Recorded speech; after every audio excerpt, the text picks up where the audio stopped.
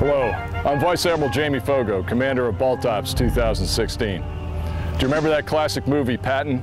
Well, it's not just Army generals that make good traffic cops. Navy admirals can do that too.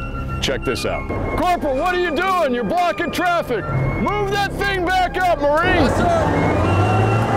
All right, Corporal, let's get down to the beach. The enemy won't wait. That's it, gun that thing. Looking good.